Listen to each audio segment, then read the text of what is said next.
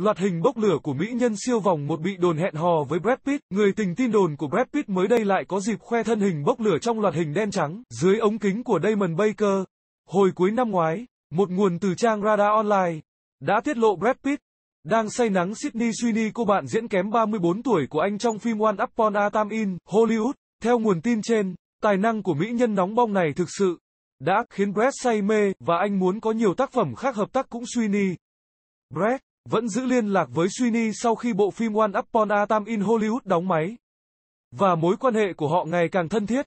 Mặc dù tin đồn trên có nhiều điểm thiếu căn cứ, và cũng bị phủ nhận từ đại diện của Brad, nhưng cái tên Sydney Sweeney vẫn khiến người ta phải chú ý. Mới đây, cô nàng lại xuất hiện trong loạt ảnh bốc lửa dưới ống kính của nhiếp ảnh gia Damon Baker. Hãy bình luận phía dưới để thể hiện sự tự do ngôn luận nhé. Trân trọng cảm ơn quý vị và các bạn đã quan tâm theo dõi. Xin hãy cho một lượt thích chia sẻ và đừng quên bấm nút theo dõi kênh xin chào và hẹn gặp lại.